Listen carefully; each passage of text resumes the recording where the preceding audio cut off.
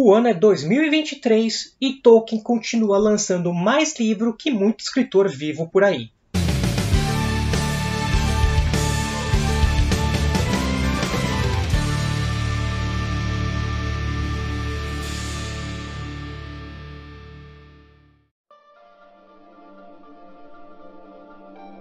Olá, meus queridos e queridas Tolkien Talkers! Antes de falarmos do destino inexorável, pegar essa referência do The Last Kingdom, tem que pegar. Já sabe como que é o protocolo? Clica aqui embaixo, já dá o like que você sabe que o vídeo vai ser bom. Do lado, se inscreve no canal e do lado já clica no sininho para ficar de olho nas notifications. E não deixe de se inscrever mesmo, porque 4 a cada 10 pessoas que assistem o TT não são inscritos e isso não tem cabimento. Além desse comecinho que já é padrão, você sabe que tem várias formas de ajudar o TT. Eu gravei um vídeo explicando cada uma delas, vai estar aqui na descrição. E a parte mais legal para você ajudar o canal e ter conteúdo exclusivo, além dos que a gente já oferece aqui semanalmente, é fazendo parte da Membership do TT. Clica aqui embaixo, assiste o vídeo e descobre o que, que você pode ganhar com isso. O roteiro deste TT foi feito em parceria com a minha grande amiga Mirei Baliero. Ela cuida da nossa conta de Twitter, ou seja, o único Twitter sem treta de toda a rede, provavelmente. Mas ela tinha feito uma super matéria no site do TT, que está aqui embaixo, vou deixar o link para vocês verem.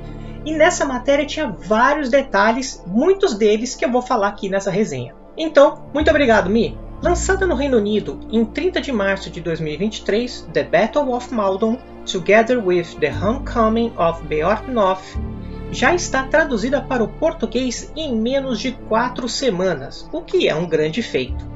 A Batalha de Maldon e o Regresso de Beorhtnoth, de J.R.R. Tolkien, foi editada por Peter Gabrauskas, que é professor de língua inglesa na Universidade de Maryland, nos Estados Unidos, onde também estudou literatura com a renomada tolkienista Verlin Flieger.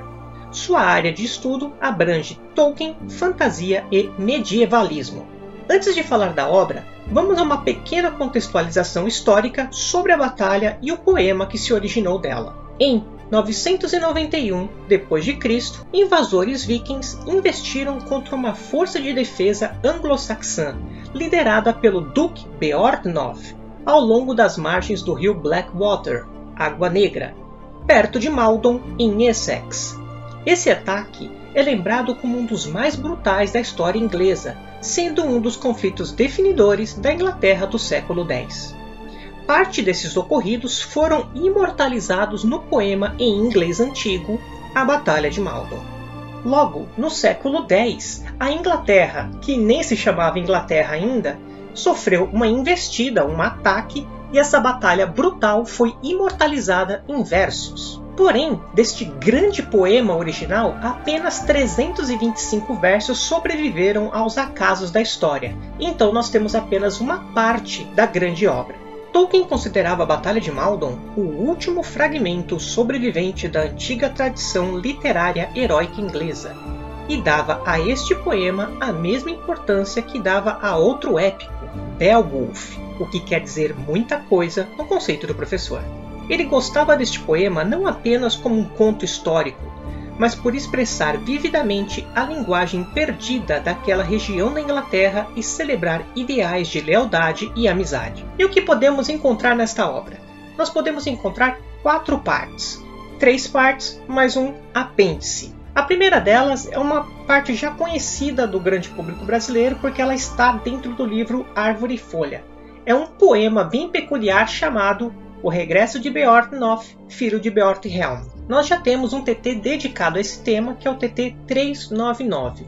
Mas em resumo, ele fala de um poema composto mais ou menos em 1930, a mesma época que o Tolkien está descrevendo o Hobbit, que ele é ficcional e usa os eventos da Batalha de Maldor como pano de fundo. Tolkien criou uma continuação que imaginava as consequências do conflito a partir de um diálogo de dois lacaios, de dois serviçais do Duque Beorhtnoth. Todo o diálogo é no pós-batalha e mostra a caminhada desses dois servos para recuperarem o corpo do Duque. Isso quer dizer que o Tolkien fez uma fanfic? Sim, quer dizer exatamente isso. Ele pegou elementos históricos e fez um spin-off do pós-batalha. Então sim, dá para considerar que é uma fanfic, só que escrita pelo Tolkien, né? Coisa fina. Elite. Nessa segunda parte, nós temos a tradução que o Tolkien fez dos 325 versos que sobreviveram à história. Só que o Tolkien fez em formato de prosa, então ele indica cada um dos versos, mas ele é corrido. Além dessa tradução, o Tolkien fez diversos comentários e notas ao redor do texto que vão depois ser indicados e detalhados ao final dessa tradução, que mostram um incrível domínio, na verdade, o assombroso domínio que o Tolkien tinha do inglês antigo. Esse tipo de conteúdo só mostra que leitor de Tolkien gosta mesmo é de nota e apêndice. Na terceira parte do livro, nós temos diversos pequenos ensaios que o Tolkien faz sobre versificação, aliteração e tudo ligado ao inglês antigo nessa grande tradição histórico-literária de passar grandes épicos por poema. E na quarta e última parte, o editor Peter Gibrauskas faz uma análise e explora um ensaio encerrando a obra, mostrando a influência deste poema na construção dramática do grande épico do Tolkien, O Senhor dos Anéis. Agora eu vou virar a câmera, vou mostrar para vocês em detalhes essa obra que está um chuchu, tá linda, combina com a coleção, lombada, tudo tudo padronizado, capa dura, tá sensacional. E ainda nesse comentário a Inesita vai mostrar a edição gringa para vocês, a edição do Reino Unido. Já estamos com essa maravilha em mãos. Nós temos aqui o padrão capa dura, nome do Tolkien em alto relevo logo no topo, o título do livro em hot stamp em dourado, que tá lindo, e aqui a gente tem a informação que foi editado por Peter Gabrauskas. A gente sabe agora que com a ausência do Christopher, outros estudiosos vão editar os livros e foi o caso dos três últimos. Este mais atual do Peter Gabrauskas, o primeiro deles da era pós-Christopher Tolkien, foi editado pelo Carl F. Hofstadter, A Natureza da Terra-média, que inclusive a gente tem um vídeo só sobre ele, e o penúltimo foi A Queda de Númenor, editado por Brian Sibley. Então aí são três livros que foram editados por outros estudiosos, seguindo aqui então a ideia. Nós temos a lombada padronizada, ela padroniza com esses daqui, então fica bem bonito. Tolkien e a Grande Guerra não tem o nome do Tolkien aqui porque é do John Garth, né? Mas está padronizada, bem bonito, hot stamping também, o monograma, as informações padrões. A gente tem a quarta capa lisa, que já é padrão fitilho vermelho que ficou lindo marca, marcando a página, lombada costurada também em vermelho muito bom, papel pólen como é de costume, nós temos a folha de guarda que é exclusiva do Brasil, muito linda com esses quatro modelos de espada aqui. Anglo-saxãs, esse papel bem antigo, gasto, né? ficou lindo. Uma máscara de guerra, um capacete máscara de guerra anglo-saxão e o livro começa, o papel é amarelado sim, pessoal, de sempre o pólen, mas a luz aqui estoura, então ele parece mais branco. Temos quatro ilustrações muito bonitas que parecem ter umas aluminuras, aquelas aberturas de capítulo como capitulares, né? Olha que legal. Então aqui é como se fossem aqueles barcos vikings, né? Os barcos nórdicos. E aqui os guerreiros pronto para a batalha. Temos aqui J.R.R. Tolkien, a Batalha de Maldon, o regresso de Beort Noth, filho de Beort Helm, e a tradição da versificação em inglês antigo. Aqui nós temos que a tradução é do Eduardo Boemi e do Reinaldo José Lopes. Ficha técnica, o sumário e o conteúdo, que é o mesmo do livro gringo. Então nós temos aqui a parte 1, é aquele conteúdo que nós já encontramos aqui no Árvore Folha, então esse conteúdo da parte 1 já existe no Árvore Folha. E a partir da parte 2, sim, são os conteúdos inéditos, né? Ou seja, a Batalha de Maldon, que é a tradução que o Tolkien fez dos versos que sobraram né, do manuscrito, só que ele fez em formato de prosa, só que indicando cada um dos versos, e as notas que são comentários do Tolkien em relação à tradução. A parte 3 faz uma análise do inglês antigo e da importância dos versos e dessa forma de contar histórias. E nos apêndices nós temos alguns conteúdos aqui, em especial sobre o inglês antigo. Afinal, o Tolkien era, na época dele, basicamente o último homem que era, conseguia ser fluente em inglês antigo. Ele também fala de, de aliteração, aquela questão de som, de re, repetição de sons, né, como Bilbo Bolseiro de Bolsão, por exemplo, você tem isso. Né, Bandobras berra touro, que a gente já viu em alguns outros vídeos. Esse é um tipo de aliteração a grosso modo. E ao final, a gente tem aqui um texto do editor que ele faz uma correlação entre o legendário e esse tipo de texto épico que o Tolkien tanto gostava. O conteúdo vai seguindo normalmente, A fonte é muito boa, é, tem um bom espaçamento. Gosto da mancha, a mancha é esse retângulo que se forma dentro da, da página, né? Então a mancha está muito boa, ela não pega na lombada, ela tem um respiro muito bom, as notas estão sempre é, menores aqui, né? E aí a gente tem aqui nota do tradutor, então além do trabalho do livro, ainda tem algumas coisas que a tradução em português fez, ou seja, super caprichado. E aqui de fato a gente tem o começo, e aí a gente tem uma outra iluminura que é muito legal, que é o regresso de Beorhtnoth, filho de Helm, que é aquele poema ficcional que o Tolkien fez e aqui eles estão carregando o corpo do seu senhor. Né? Muito bonita também essa ilustração e a gente tem aquele conteúdo que já está disponível no Árvore Folha, né? que é um diálogo. Então a gente tem aqui a fanfic ultra de ouro do, do Tolkien. Temos aqui algumas notas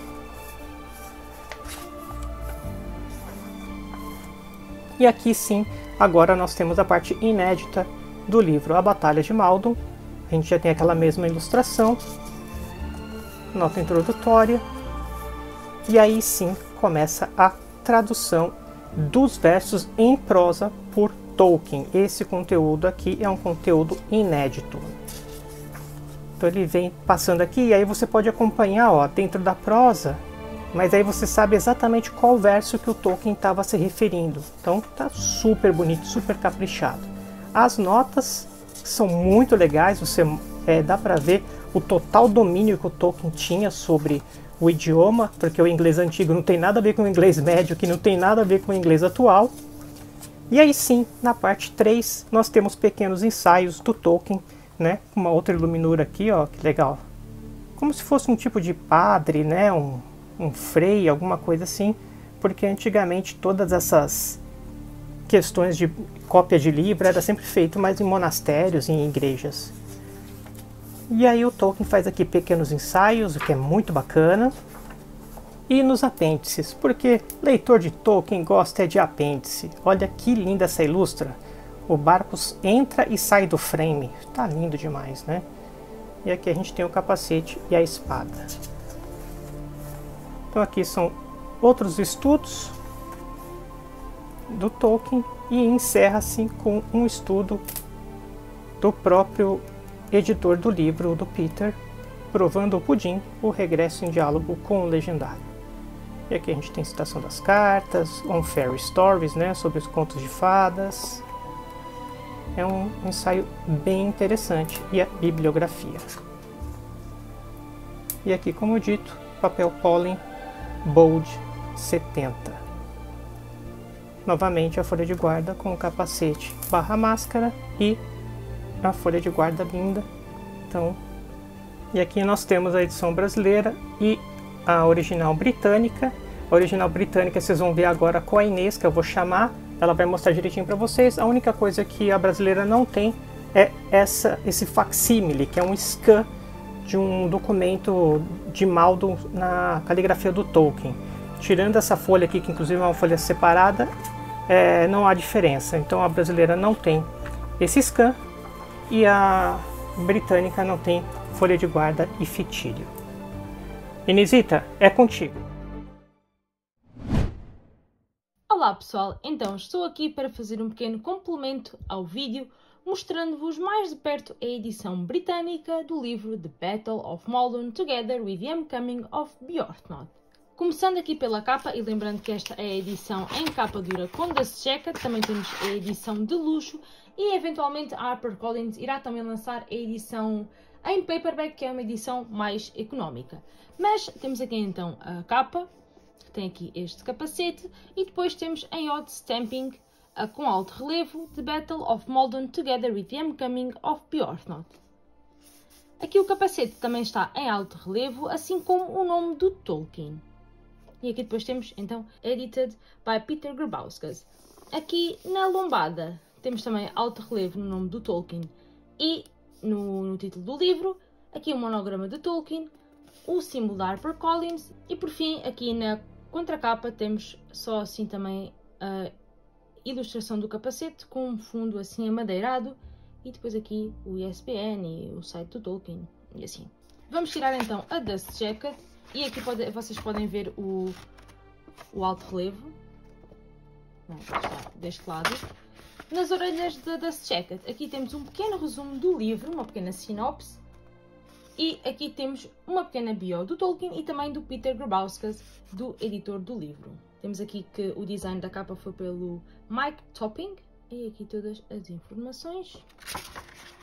A capa do livro é neste papel tecido, castanho. E temos aqui então em hot stamping dourado, monograma de Tolkien, o nome do Tolkien, o nome do livro e símbolo da editora. E aqui por trás é castanho.